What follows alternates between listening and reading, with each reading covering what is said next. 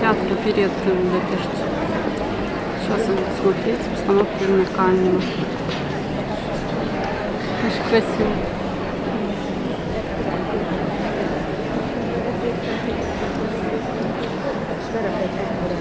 Thank you.